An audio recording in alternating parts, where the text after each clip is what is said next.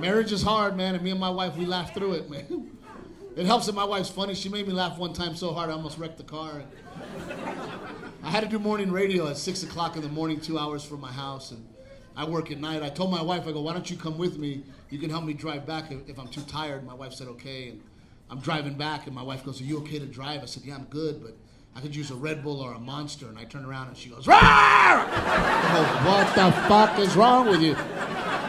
Goes, you said you needed a Monster. Ah, so you scared the shit out of me. You almost killed both of us. That was fucking hilarious. Early in the morning, no makeup, her little chin hairs. Ah, everything she does is perfect. She makes no mistakes. But this is the same person that walks around our house every day going, Call my phone. Can you call my phone? I, I don't know where I left my phone. Can you?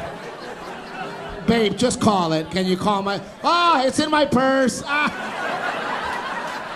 I had it on silent. Now, where's my keys? I can't find my keys. I, I'm gonna be late. I have to take your keys. Because I can't find my keys. Where are your keys? Oh, my keys? They're on the hook. This is fucking keys.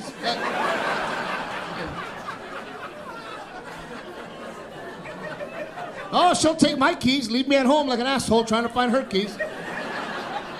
I'll get a phone call 20 minutes later. Oh my God, I have both sets of keys.